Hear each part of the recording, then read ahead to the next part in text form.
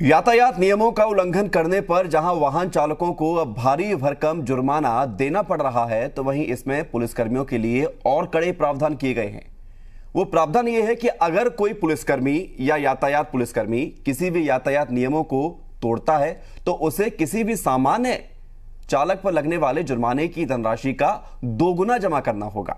DGP OP Singh ने इसके लिए सभी जिलों के कप्तानों को पत्र लिखकर निर्देशित किया है। मोटर वाहन अधिनियम की धारा 210 बी के तहत ये प्रावधान किया गया है।